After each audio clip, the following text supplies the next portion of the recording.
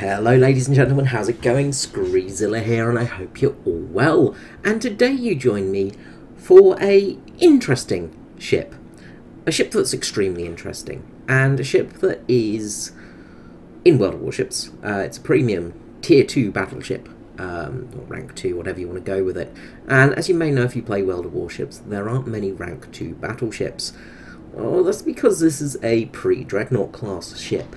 So let's get started. This is the history of the Japanese Navy's Mikasa, the Empire of Japan's battleship. And technically this is the last, well, this is the last battleship for Britain that exists in the world, but it's also the last existing example of a pre-Dreadnought class battleship. Now where to start with this pre-Dreadnought battleship?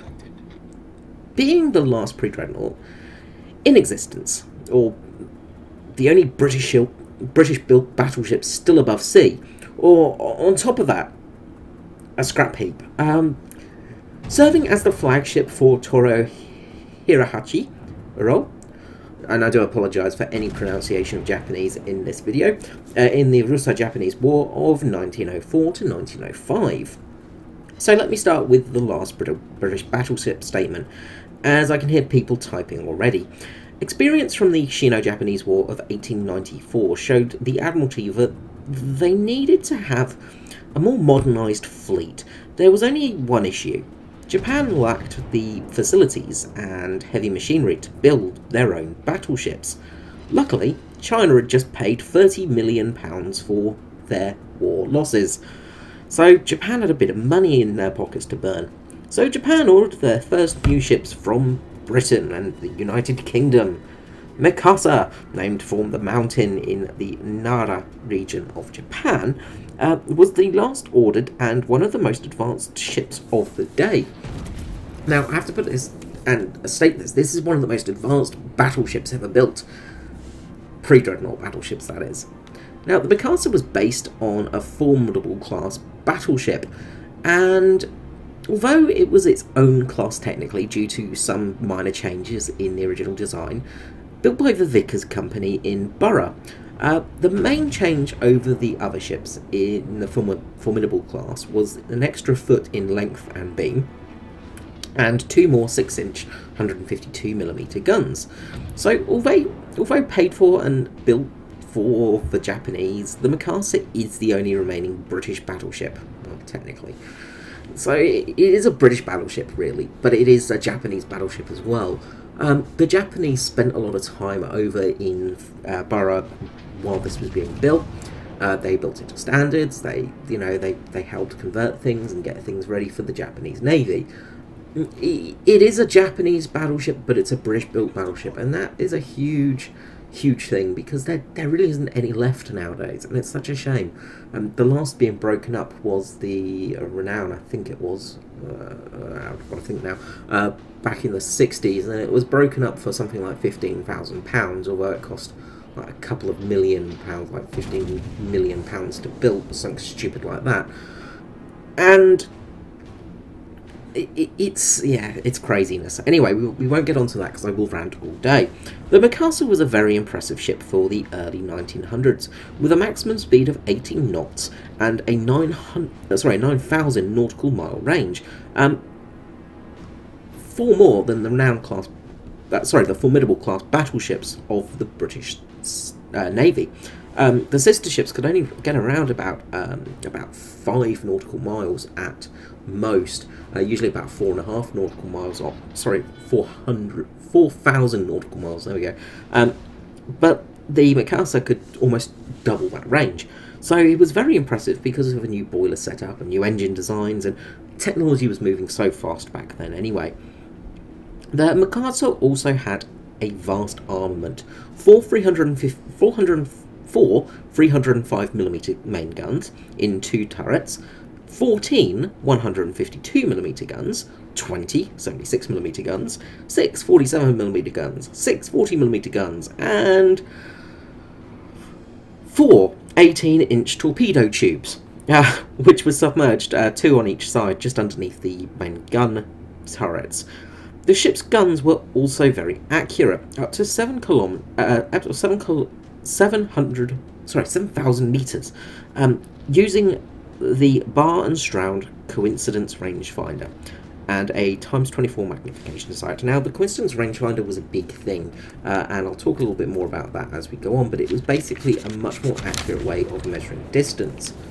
For protection, the ship had uh, the extremely advanced Krupp cemented steel with up to 356 millimeters in some in some places, mainly around the conning tower, just uh, where basically the extra station for driving the ship is if your main bridge gets blown up, basically.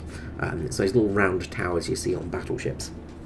Now, the steel had an elasticity to it, meaning it, it was harder to penetrate and produced less spalling and fragmentation when hit, and this was a big advantage over the Russian-used steel of the time, uh, which was a just a straight sort of hard steel, really, and it didn't have that sort of um, it didn't have that layering to it, didn't have that sort of elasticity to it, so it, it would shatter more, fragment more, and you get more spalling from it. Now, her career. Now, this is going to be a long one today. Um, laid down in 1899, so this ship is an old old girl. Um, she was built in the 1800s, very late 1800s, but that also makes her one of the oldest sort of steel ships around. There are a few older, but not many. Um, the ship set sail for Japan on March the 13th, 1902, so not a long build time as you can see, only three years to get built, which is pretty bloody quick for a battleship in all honesty. Uh, sailing for Yokohama. As tension built between Japan and Russia in 1904, in 1904 it boiled over and the Russo-Japanese War had begun.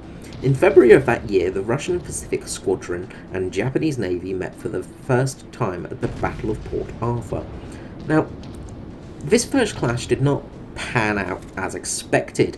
Admiral Togo launched a surprise night attack with his destroyers, which he had expected to basically throw the Russians' fleet into disarray and cause them much problems because of damage and ships sinking and basically them not being in position. However, the Japanese fleet were already spotted before, so the Russians were ready.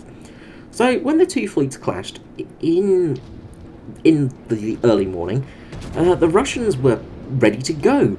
Despite the large number of ships and shells in the battle, only a small number of sailors were actually killed or wounded, with 17 Russians and 60 Japanese killed or wounded. The Mikasa being hit by two 10-inch shells. Um, she suffered a fair bit of damage, and mainly most of the casualties were on the Mikasa. Now, on 10th of August, at the Battle of the Yellow Sea, the Mikasa was lead ship of her column, chasing down the Russian fleet, who planned on moving to Vladivostok um, to strengthen. To, sorry, to, to strengthen their fleet and also to spread the Japanese fleet quite thin. The battle lasted seven hours, with around 7,000 rounds being shot by either side. It was also the first real battle of the open sea with a battleship. Now, proper battleships, now early battleships. This is your sort of main battleships that we see here, the Mikasas, such and things like that.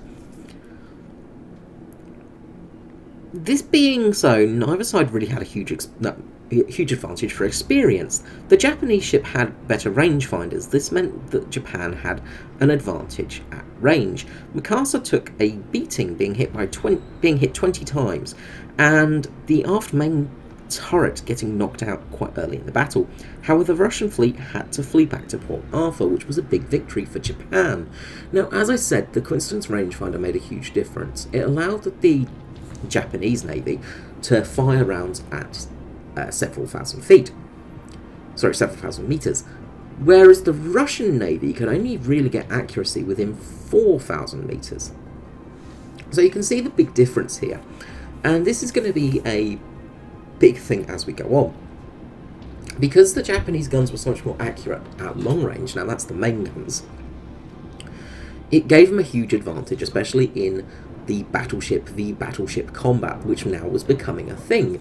Um, and of course, this was a, the first time this has ever happened, so nobody has experience, nobody knows what's actually going to happen. The idea of the battleships at this time, why they have so many secondaries and third line guns and fourth line guns, and so many different classes of guns and rounds and sizes and all this kind of stuff is because, well, they were designed to get up close and brawl. So right now we're going to come around on Nassau and prove the point. All of our secondaries and tertiaries, I guess you could call them, are going to start lighting this Nassau up. Of course, the big disadvantage we have is that Nassau is a Dreadnought class battleship. We are a battleship battleship. So yeah, it's not going to be an easy fight. But you can see all the secondary guns just blazing to fire there, and this was the idea of these types of ships. Now, of course, what happened was because the battleships had such thick armour, the secondary rounds would really not do anything. Um, at long distance, you know, when you're fighting at 5, 6 kilometres away, sort of that sort of range, the secondary guns just bounce harmlessly off the armour because the armour's so thick on a battleship, or a dreadnought, so you can say. Um, so they become almost useless, so you rely on your main guns. And you can see where I'm going here. Main guns become a big thing as we go further on. Now, 27th of May 1905, the Battle of Tsushima started. Now, Mikasa was once more the lead ship of the fleet into combat with a vast 89 ship fleet. Although many were smaller than the Russians. The Russians had 38 ships, all of which, um, uh, sorry, 11 of which were battleships, uh, while Japan only had 5 battleships. 11 battleships v 5 battleships, you sort of think, well, that's going to be a pretty solid victory for Russia. Um, but of course, these are old battleships. Now, the Russian battleships were not very well looked after, um, they were a, a bit rough. The Mikasa and her fleet were being commanded by Admiral Togo, which was a huge advantage because he had experience and was the only um, main ace up their sleeve. He was the only commander with experience in fighting the modern ships. Um, a couple of Russian commanders, of course, were fighting against the Japanese, however, they all died. Uh, one of the Russian admirals got demoted for the loss at Port Arthur, uh, a little bit sort of prior to this battle, where the Japanese fleet started shelling the uh, encamped Russian fleet, and a vast number of their ships were destroyed. Uh, so he was demoted, and new admiral took over, who had no experience fighting battleship on battleship action, no experience of how these modern ships worked. So it really made a big advantage having Admiral Togo on board. This mixed with the older ships of the Russian led uh, the Russian fleet led to a crushing defeat to to their fleet. All of their battleships were lost, mainly due to the fact that Japanese ships could use their main guns at longer distance. This also led to uh, Captain uh, Pakenham of the Royal Navy who was an official observer on board. Uh, I think he was actually on board the Mikasa, and observed the battle, of course. Uh, his report was, in effect, the effect of the fire of every gun is so much less than that of the next larger size. When the 12 inch gun opened fire, the 10 inch passed unnoticed. Everything this war has tended to emphasize the importance to, this, to a ship to carry the furthest and heaviest guns that can be got into her at the time. This, of course, led to the dreadnoughts. And yes, that's a big step up. Once HMS Dreadnought had been built, um, and HMS Dreadnought was built, I think, in oh, 1906, I think, off the top of my head. I uh, might be off by a couple of years, I do apologise. Uh, sorry, 1908, I think it was, sorry. Um, it was a couple of years, basically, after this battle. Um, she was actually laid down a little bit earlier. They were starting development on her, but it basically meant the unification of guns, because, as you can see, there are lots of different guns on board this battleship. You've got the big guns, the smaller guns, which are still big, you know, 152mm guns are not small, uh, smaller guns, and then you go down to 47mm, and then 40mm, and then you just keep going down and down, and you just got more and more guns on board. But these are effectively just making the boat heavier and adding more ammunition, which causes more problems because ammunition can go boom. And the Dreadnought was really the first ship to unify this, and it had, you know, its main guns, it did have a secondary, and then it had you know some small arms on board to take out smaller boats things like that. But there weren't as many guns on board. And you'll notice with these early pre-dreadnought battleships, they've got millions of different caliber guns on board. Some of them even have, you know, the main guns, you know, which are 305 millimeters, and then they have a 280 millimeter gun on the back, and you know, just crazy stuff like this. If you look at some of the French battleships of the late 1800s, they've just got a mixed match of all different guns on board, and it means you have to carry all different ammunition. Of course, you have to carry less ammunition because, of course, you need to service all the guns. So, Dreadnought was a huge, huge game changer, and the Mikasa is partially the reason why the Dreadnought exists, because of what the British learnt from the Japanese sailing this boat. Similar to, to the Second World War with the Spanish Civil War of what the Germans learnt. They learnt how to basically make a better battleship, and that's what a Dreadnought class was, was the better battleship. So back to the Mikasa. Um, Mikasa took over 30 large caliber hits during the battle, uh, but few penetrated. 100 of the 875 crew were casualties, however. Um, there aren't really no numbers of how many were actually killed in action, uh, but we do know about 100 were casualties on board. After the war, six days to be precise, a fire, fire in a magazine rack happened and exploded on board the Mikasa. As she was in port, 251 crew members were killed and the ship did sink. Now, the number of crew members killed in this explosion are more than were lost in battle. And just to give you an idea of, you know, the, back at the battle of um, the, the, first battle, sorry, the uh, the battle of Tsushima, seven thousand rounds were fired, more more than that, over seven thousand rounds were fired each side. There was about a one percent hit ratio of those rounds, but when you're having 350mm rounds shot into your boat, they can generally cause damage, but the Mikasa had such heavy armour and was well plated that most of the rounds just simply bounced off and didn't really do much to her. Um, the actual exhibit in Japan, uh, of course the, the, ship does still exist, um, the ship in Japan, you can actually see some holes where they've been patched over, some impact places on the ship. It's amazing, it's very cool stuff. Now, when the explosion happened, it was a very unfortunate thing. The ship, however, was refloated nearly nine months later and uh, basically repaired all the way through. Almost three years later, the Mikasa was back in service, now as a coastal defence ship, and these were basically coastal defence battleships were sort of the battleships that aren't really worth putting into the frontline action. Now, during the previous Battle of Tsushima, uh, three of the I think it was three of the battleships from Russia were actually coastal defence battleships, so they really didn't stand much chance because they were very old and very unreliable. Uh, but the the sort of Mikasa still had a use and still had a pretty decent purpose. It still had the armour, it still had protection. It was still a decent ship for the time. Um, so it did have some serviceability still, and it went on to serve up until World War One. It served up until 1921. Um, the ship was part of a intervention force in Siberia with the Russian Civil War as well. So the ship served past World War One and was part of the Russian Civil War, part of the Japanese intervention there to help the Whites push back against the Reds, which didn't end up going too well if you know your history. And on the 23rd of September, the Mikasa was finally decommissioned.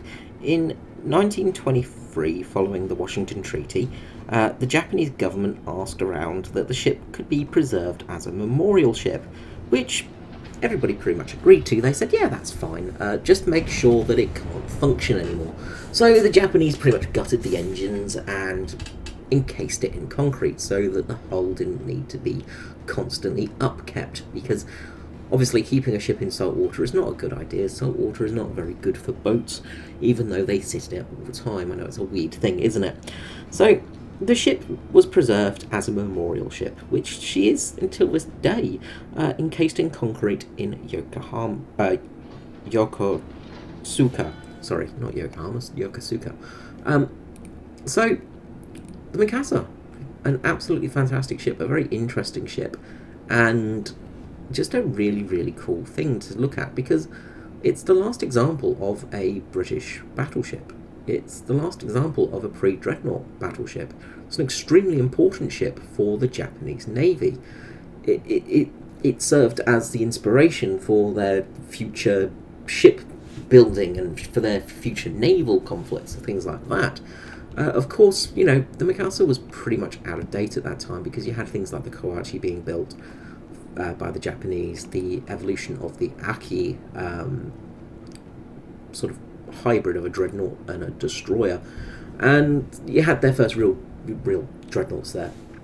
Now, interestingly enough, in the Second World War, of course, the uh, the preservation of the ship was not looked after too well, unfortunately, and the US forces and Allied forces that were there keeping an eye on Japan, making sure they didn't do anything naughty, didn't really give a toss about the ship, so she fell into a state of disrepair. It wasn't until a bit later that um, a, a, Philadelphian businessman, uh, John Rubin, formerly of Borough of England, or Barrow of England, uh, of course, where the ship was built, uh, wrote a letter to the Japanese Times about the state of the ship, and this basically was the catalyst of a restoration campaign with the support of the Japanese public and the American Admiral Chester, Chester Chester W. Nimitz. Uh, the restoration of the battleship finally finished in 1961 and she was reopened and is there till this day. And interestingly enough, the relationships between Nimitz and this battleship have continued for a while because USS Nimitz actually, uh, I say flew, uh, sailed off to Japan and started repainting her at Yoka, Yokosuka. I think I say Yokohama earlier, but Yokosuka. And repainted the ship back in 2009. I think that's just a really cool little thing, you know. Admiral Nimitz actually saved the ship and did a lot to help it get rebuilt, along with the Japanese public, of course. The Japanese public had a huge support of this ship because it was an icon. Uh, but the Nimitz, the ship that's named after the Admiral, uh, went and helped repair it, which was just very, very cool indeed. So yeah, the Mikasa, it's a very interesting little ship. Now, one thing about this ship is obviously it is available in World Warships. It's a premium ship, and it's a rank 2 battleship, and there's not really anything else like it. If you're looking at for it for World of Warships as some sort of wonder weapon, as a ship that's going to absolutely win you every single game and be amazing, look elsewhere, because this ship is really not very good. Of course, you're going to be fighting lots of dreadnoughts, which means you're going to be fighting ships that had much more advanced guns on board, and this is not a good thing at all, because you're fighting ships that have heavier armour, heavier guns, better range, better accuracy, more guns. In a ship that's, you know, 10 to 15 years older than theirs, you're still going to be quite effective. And of course, if you do get a penetration with those big AP shells at long distance or HE shells, you're going to do a huge amount of damage. But it, it's hard to get citadels at range with this thing because, well, citadels are generally very small on the earlier ships, especially the cruisers. And as you can see here, we are fighting the ever popular and ever destructive St. Louis. Um, and the St. Louis is just an absolutely devastating ship with its barrage of firepower and HE shells. Uh, withering withering blows, basically. It'll uh, cut, uh, death by a thousand cuts, you know, it's one of those things. And you really can't do much against it unless you get some very lucky hits or if you get close. Of course, those secondaries are still good, but they only have a 3 kilometer range, which is kind of not very good in World of Warships. Not very often you get that close. Um, but of course, if you do get close enough to get some hits, and you get some good hits, you're going to take it out. But yeah, it's it's not really worth getting unless you get it on a special deal or have it very very cheap. Then, as a collector, I'd recommend it. It's a bit of fun, it's an interesting boat, and its history is extremely interesting too, and I hope you've enjoyed this little look at it. If you have, let me know in the comments below, give a like and a subscribe, you know, as usual as YouTubers say, and we will be doing some more Warship history soon. It's going to be a little bit tricky because Warship history tends to be quite long and there's much to say about it, but I'm looking forward to the challenge. So, hope you've enjoyed this video, and until next time, sail safe, keep well, and I'll see you again. Bye bye.